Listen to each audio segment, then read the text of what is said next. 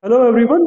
Today we are going to see an interesting experimental setup, the PV grid tied inverter or you can say the on-grid or off-grid solar. How we can connect the on-grid or off-grid solar. As you can see we have the solar panels here. We have the solar panel, we have the uh, inverter on-grid or we can use it an off-grid or on-grid inverter. Uh, we have the, this setup here on which we can demonstrate various experiments as you might have seen the solar panels connected on the rooftop, uh, whether that will be an off-grid, whether that will be an on-grid, or whether that will be a, a hybrid system. So how that works? So this setup, on the setup, we can connect the on-grid, off-grid, uh, or you can say, can see the hybrid system.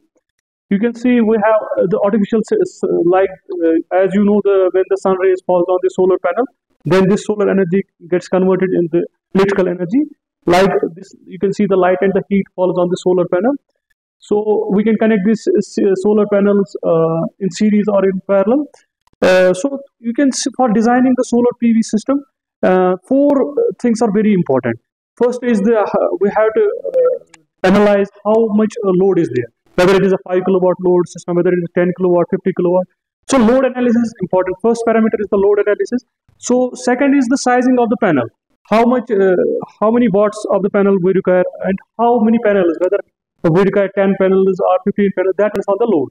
So first parameter we have to see the load analysis. Then uh, we have to analyze how much size of the PV panel is required. Also if we have the off-grid system how much uh, how many batteries are required uh, are there? So we can uh, do the different experimental setups on this.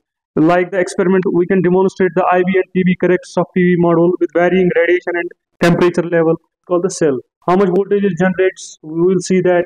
And this is a panel and how many cells are there in the panel? We, we are going to see that how many watt panel this is we are going to see. We can connect them in series and we can connect in, uh, them in parallel. We are going to see. So thank you for today. We are going to see different experimental sets in the coming videos thank you very much